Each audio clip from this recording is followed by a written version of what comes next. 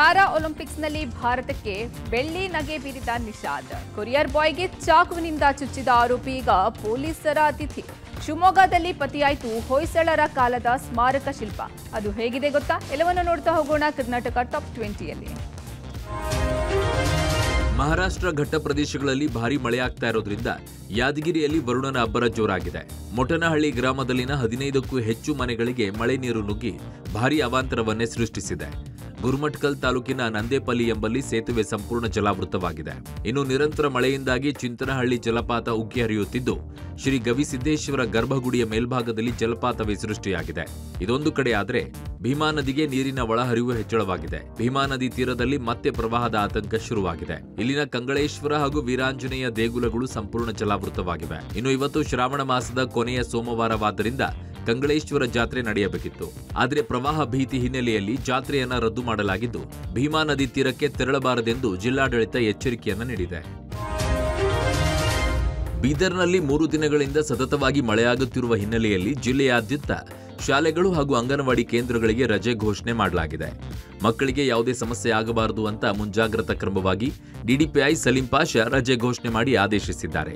ಇತ್ತ ಕಲಬುರಗಿ ಜಿಲ್ಲೆಯಲ್ಲಿ ಧಾರಾಕಾರ ಮಳೆ ಹಿನ್ನೆಲೆಯಲ್ಲಿ ಕಾಗಿಣ ನದಿ ಅಪಾಯದ ಮಟ್ಟ ಮೀರಿ ಹರಿತಾ ಇದ್ದು ಇದರಿಂದಾಗಿ ಚಿತ್ತಾಪುರ ತಾಲೂಕಿನ ದಂಡೋತಿ ಬ್ರಿಡ್ಜ್ ಸಂಪೂರ್ಣ ಮುಳುಗಡೆಯಾಗಿ ಕಲಬುರಗಿ ಚಿತ್ತಾಪುರ ಮಾರ್ಗದ ರಸ್ತೆ ಸಂಪರ್ಕ ಕಡಿತವಾಗಿದೆ.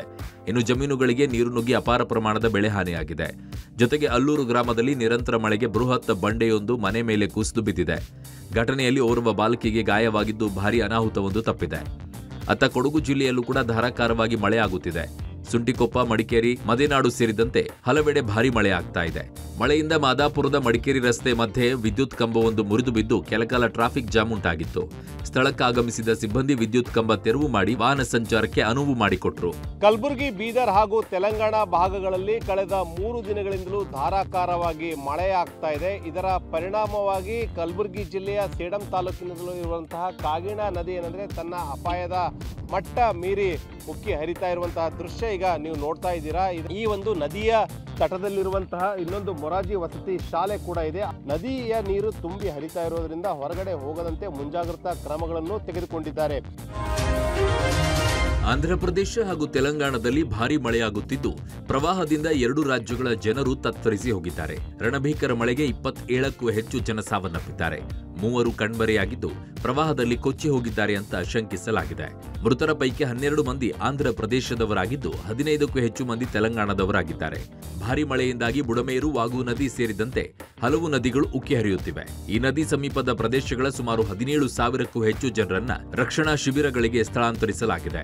ಇನ್ನು ತೀವ್ರ ಪ್ರವಾಹವನ್ನು ಅನುಭವಿಸಿದ ವಿಜಯವಾಡ ಒಂದರಲ್ಲೇ ಎರಡು ಪಾಯಿಂಟ್ ಏಳು ಆರು ಲಕ್ಷಕ್ಕೂ ಹೆಚ್ಚು ಜನರು ಸಂತ್ರಸ್ತರಾಗಿದ್ದಾರೆ ಎನ್ನಲಾಗಿದೆ.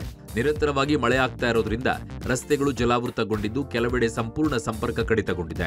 ಇದರಿಂದಾಗಿ ಹಲವೆಡೆ ರಕ್ಷಣಾ ಕಾರ್ಯಾಚರಣೆಗಳಿಗೂ ಸಮಸ್ಯೆಯಾಗಿದೆ ಅಂತ ಅಧಿಕಾರಿಗಳು ತಿಳಿಸಿದ್ದಾರೆ. ತೊಂಬತ್ತೇಳು ರೈಲುಗಳ ಮಾರ್ಗ ಬದಲಾವಣೆ ಮಾಡಲಾಗಿದೆ. ಅಲ್ಲದೆ ನೂರ ನಲವತ್ತು ರೈಲುಗಳ ರದ್ದುಪಡಿಸಲಾಗಿದೆ. ಇದರಿಂದಾಗಿ ರೈಲ್ವೆ ನಿಲ್ದಾಣದಲ್ಲಿ ಆರು ಸಾವಿರ ಪ್ರಯಾಣಿಕರು ಸಿಲುಕಿಕೊಂಡಿದ್ದಾರೆ. ಸೆಪ್ಟೆಂಬರ್ ಐದರವರೆಗೆ ಆಂಧ್ರಪ್ರದೇಶದ ಕೆಲವು ಭಾಗಗಳಲ್ಲಿ ಮಿಂಚು ಗುಡುಗು ಸಹಿತ ಮಳೆಯಾಗಲಿದೆ ಅಂತ ಹವಾಮಾನ ಇಲಾಖೆ ಮುನ್ಸೂಚನೆಯನ್ನ ನೀಡಿದೆ. ರಾಷ್ಟ್ರ ನಾಯಕ ದಿವಂಗತ ಎಸ್ ನಿಜಲಿಂಗಪ್ಪ ಮನೆಗೆ ಸಚಿವೆ ಲಕ್ಷ್ಮೀ ಹೆಬ್ಬಾಳ್ಕರ್ ಭೇಟಿ ಕೊಟ್ಟಿದ್ದಾರೆ. ಸರ್ಕಾರದಿಂದ ಮನೆ ಖರೀದಿಯ ವಿಚಾರವಾಗಿ ಚಿತ್ರದುರ್ಗದ ಜಿಲ್ಲಾಧಿಕಾರಿ ಕಚೇರಿ ಬಳಿ ಇರುವಂತಹ ಎಸ್ ನಿಜಲಿಂಗಪ್ಪ ಮನೆಗೆ ಭೇಟಿ ಕೊಟ್ಟರು ಮಾತುಕತೆ ನಡೆಸಿದ್ದಾರೆ. ಈ ವೇಳೆ ಸಚಿವೆಗೆ ಬಿಸಿ ಚಂದ್ರಶೇಖರ್, ಮುರಳೀಧರ್, ಹಾಲಪ್ಪ ಮತ್ತಿತರರು ಸಾಥ್ ಕೊಟ್ಟರು ಇನ್ನು ಇದೇ ವಿಚಾರವಾಗಿ ಎಸ್ ನಿಜಲಿಂಗಪ್ಪ ಪುತ್ರ ಕಿರಣ್ ಪ್ರತಿಕ್ರಿಯೆ ಕೊಟ್ಟಿದ್ದು, ಹನ್ನೆರಡು ವರ್ಷಗಳ ಹಿಂದೆ ಮನೆ ಖರೀದಿಸುವ ಬಗ್ಗೆ ಸರ್ಕಾರ ಭರವಸೆ ಕೊಟ್ಟಿತ್ತು. ನಿಗದಿತ ಮೌಲ್ಯಕ್ಕಿಂತ ಹೆಚ್ಚು ಹಣ ನೀಡಿ ಖರೀದಿಸುತ್ತೇವೆ ಅಂತೇಳಿ ಅಂದಿನ ಸಿಎಂ ಬಿಎಸ್ ಯಡಿಯೂರಪ್ಪ ಹೇಳಿದ್ರು. ಆದರೆ ಈವರೆಗೂ ಯಾವುದೇ ಪ್ರಕ್ರಿಯೆ ಆಗಿಲ್ಲ ಅಂತ ಹೇಳಿ ಬೇಸರ ವ್ಯಕ್ತಪಡಿಸಿದ್ರು. ಈಗ ಕೆಪಿಸಿಸಿಯಿಂದ ಮನೆ ಖರೀದಿಗೆ ಮುಂದೆ ಬಂದಿದ್ದಾರೆ. ಜಿಲ್ಲಾ ಮಟ್ಟದಲ್ಲಿ ಪಕ್ಷದ ಕಚೇರಿಯನ್ನು ನಿರ್ಮಿಸ್ತಾರೆ ಅಂತ ಹೇಳಲಾಗ್ತಿದೆ. ಏನ್ ಮಾಡ್ತಾರೋ ಗೊತ್ತಿಲ್ಲ, ಆದ್ರೆ ಕಟ್ಟಡ ನಿರ್ವಹಣೆ ಮಾಡಲಾಗದೆ ನಾವು ಸೇಲ್ ಮಾಡ್ತಾ ಇದ್ದೇವೆ ಅಷ್ಟೇ ಅಂತ ಹೇಳಿ ಎಸ್ ನಿಜಲಿಂಗಪ್ಪ ಪುತ್ರ ಹೇಳಿಕೆ ಕೊಟ್ಟಿದ್ದಾರೆ. ನಿಜಲಿಂಗಪ್ಪ ಬಹಳ ಆನೆಸ್ಟ್ ಮಾರ್ಕೆಟ್ ರೇಟ್ಗಿಂತ ಜಾಸ್ತಿ ಕೊಟ್ಟು ತಗೋಬೇಕು ಅಂತ ಇವರು ಎದುರುಗಡೆನೇ ಮಾತಾಡಿದ್ದಾರೆ. ಹನ್ನೆರಡು ವರ್ಷದ ಹಿಂದೆ. ಮಾಡಲಿಲ್ಲಲ್ಲ ಯಾರು ಬಂದರು ಗೌರ್ಮೆಂಟ್ ಆರ್ಡರ್ ಇದೆ ತಗೊಳ್ಳಿ ಅಂತ. ಗೌರ್ಮೆಂಟ್ ಆರ್ಡರ್ ಇದೆ ತಗೊಳ್ಳಿ ಅಂತ ದುಡ್ಡು ಕೊಟ್ಟರು ನಮಗೆ ನಮ್ಗೆ ಏನಾದರೂ ನಮಗೆ ಸಂಬಂಧ ಇಲ್ಲ. ಅವ್ರು ಆಫೀಸ್ ಮಾಡ್ತೀವಿ ಅಂತ ಹೇಳಿದ್ರು. ಏನಾರು ಮಾಡ್ಕೊಳ್ಳಿ. ನಮಗೆ ವಾಂಟ್ ಜಸ್ಟ್ ಸೆಲ್ ಇಟ್ ಅಷ್ಟೇ.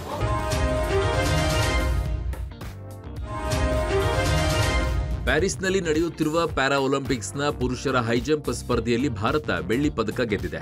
ಟಿ ಫೋರ್ಟಿ ಸೆವೆನ್ ಸ್ಪರ್ಧೆಯಲ್ಲಿ ಭಾರತದ ನಿಷಾದ್ ಕುಮಾರ್ ಬೆಳ್ಳಿ ಪದಕ ಗೆದ್ದಿದ್ದಾರೆ. ಇಪ್ಪತ್ನಾಲ್ಕು ವರ್ಷದ ನಿಷಾದ್ ಮೂರು ವರ್ಷಗಳ ಹಿಂದೆ ಟೋಕಿಯೋ ಪ್ಯಾರಾ ಒಲಿಂಪಿಕ್ಸ್ನಲ್ಲಿ ಇದೇ ಸ್ಪರ್ಧೆಯಲ್ಲಿ ಬೆಳ್ಳಿ ಪದಕಕ್ಕೆ ಮುತ್ತಿಟ್ಟಿದ್ರು. ಹನ್ನೊಂದು ಮಂದಿ ಒಳಗೊಂಡಿದ್ದ ಫೈನಲ್ ಸ್ಪರ್ಧೆಯಲ್ಲಿ ನಿಷಾದ್ ಆರಂಭದಲ್ಲೇ ಉತ್ತಮ ಪ್ರದರ್ಶನ ನೀಡಿದ್ರು.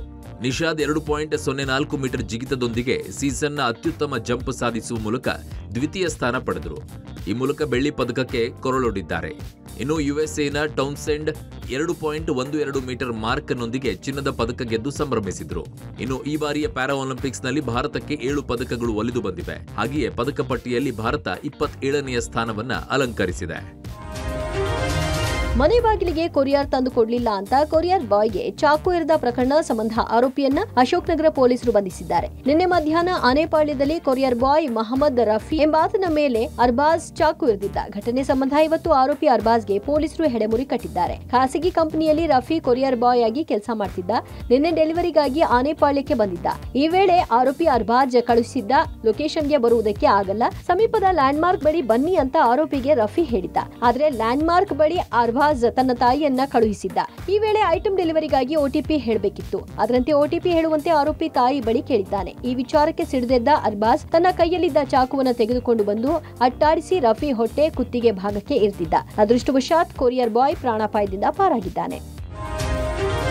ಹೊಯ್ಸಳರ ಕಾಲದ ಗರುಡ ಪದ್ಧತಿಯ ಶಿರಚ್ಛೇದನ ಸ್ಮಾರಕ ಶಿಲ್ಪ ಪತ್ತೆಯಾಗಿದೆ. ಶಿವಮೊಗ್ಗ ಜಿಲ್ಲೆಯ ತೀರ್ಥಹಳ್ಳಿಯ ವೀರಭದ್ರೇಶ್ವರ ದೇವಸ್ಥಾನದ ಆವರಣದಲ್ಲಿ ಪತ್ತೆಯಾಗಿದೆ. ಪುರಾತತ್ವ ಇಲಾಖೆ ಹಂಪಿಯ ನಿರ್ದೇಶಕ ಡಾಕ್ಟರ್ ಶೇಜೇಶ್ವರ್ ಅವರು ಕ್ಷೇತ್ರ ಕಾರ್ಯ ಕೈಗೊಂಡಾಗ ಈ ಶಿಲ್ಪವು ಸಿಕ್ಕಿದೆ. ಇದು ಎರಡು ಪಟ್ಟಿಕೆಗಳಿಂದ ಕೂಡಿದ್ದು, ಕೆಳಗಿನ ಪಟ್ಟಿಕೆಯಲ್ಲಿ ಗರುಡ, ವೀರ ಕುದುರೆಯ ಮೇಲೆ ಕತ್ತಿ ಹಿಡಿದು ಕುಳಿತುಕೊಂಡಿರುವುದು, ಈತನ ಹಿಂಭಾಗದಲ್ಲಿ ಸೇವಕ ಛತ್ರಿಯನ್ನ ಹಿಡಿದಿದ್ದಾನೆ.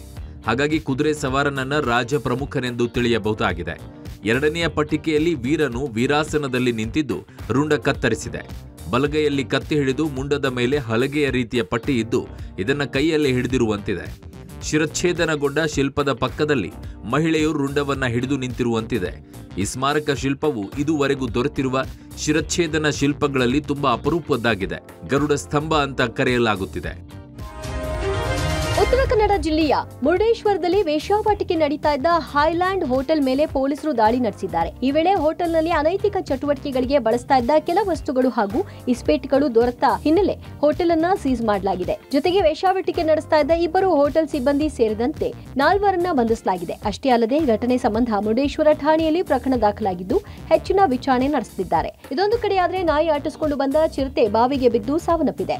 ಉತ್ತರ ಕನ್ನಡ ಜಿಲ್ಲೆಯ ಕಾರವಾರ ತಾಲೂಕಿನ ಕೋಪಸಿಟ್ಟ ವಲಿಯ ಅರಣ್ಯ ವ್ಯಾಪ್ತಿಯ ಜರಡಿ ಗ್ರಾಮದಲ್ಲಿ ಘಟನೆ ನಡೆದಿದೆ. ರಮೇಶ್ ಗೋವೇಕರ್ ಎಂಬುವರಿಗೆ ಸೇರಿದ ಬಾವಿ ಇದಾಗಿದ್ದು, ಬಾವಿಗೆ ಮುಚ್ಚಳ ನಿರ್ಮಿಸದೆ ಹಾಗೆ ಬಿಟ್ಟಿದ್ದರಿಂದ ಬೇಟೆ ಆರಿಸಿ ಬಂದ ಚಿರತೆ ಬಾವಿಗೆ ಬಿದ್ದು ಮೃತಪಟ್ಟಿದೆ.